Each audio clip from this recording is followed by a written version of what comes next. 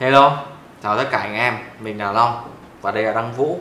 Như anh em nhìn thấy trên màn mình là một cái màn hình, à không phải một cái màn hình, một cái máy tính all in one có đẹp quá.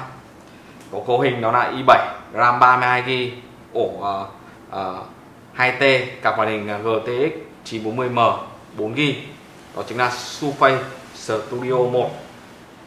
Anh em nhìn này, một cái màn hình cực kỳ đẹp Màn hình này có độ phân giải là gần 5K Hỗ trợ 1 tỷ màu.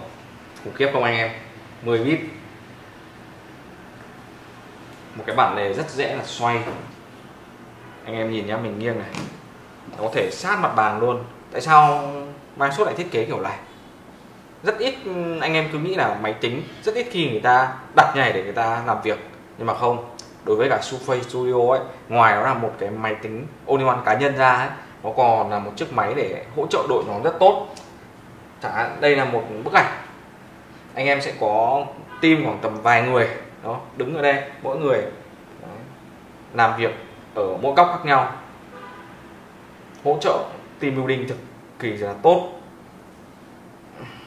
À, một bản vẽ kép này một bức ảnh này à, vân vân và vân vân nó sẽ cho tất cả người trong team sẽ có thể nhìn được và ừ, làm việc trực tiếp ở trên cái màn hình này. Điều mà không một chiếc máy all nào có thể làm được, ví dụ như là iMac, ok, iMac thì cấu hình cũng khủng khiếp đấy, nhưng mà nó không có cảm ứng, nó không thể hạ thấp như này được. Bản đề này, mình chỉ dùng một ngón tay thôi nhá, có thể nâng lên được, có khủng khiếp, và có thể hạ xuống được bằng một ngón tay em để mình quay đằng sau cho anh em xem. Đây.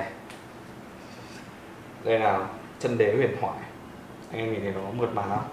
Có mượt mà. Toàn bộ máy được làm bằng hợp kim magie rất là cao cấp. Bình thường chỉ làm bằng các ờ, máy khác, chỉ là bằng nhôm thôi, nhưng đối với cả Microsoft họ làm vỏ bằng magie toàn bộ bằng magie em nhé. Cấu hình phần cứng thì ở dưới, còn ở trên thì 100% là công nghệ màn hình thôi. Ok xoay máy ra nào. Chiếc máy này ấy, vẫn thoải mái cho anh em làm đồ họa à, làm những công việc như chỉnh sửa ảnh này à, làm à, edit video này bla bla các thứ. Có sẵn bàn phím không dây và chuột không dây. Bộ combo này mới là 148 à, triệu hồi mới ra mắt nhưng hiện tại chỉ bán ở đăng vũ với giá là 60 triệu thôi anh em sẽ có cấu hình i7 RAM 32GB ổ 2T nhá. Cạc rời GTX chỉ 40M 4GB tiết kiệm cho anh em cực cực kỳ nhiều tiền. Mà để ở trên bàn nó cũng sang trọng cái văn phòng nữa chứ.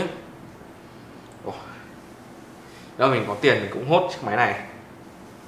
Nếu anh em muốn mua chiếc Surface turo này thì có thể ờ, đến Đăng Vũ hoặc là có thể alo cho mình 093 653 5678 bên mình sẽ giao hàng và cài đặt tận nhà cho anh em nhé quá đẹp.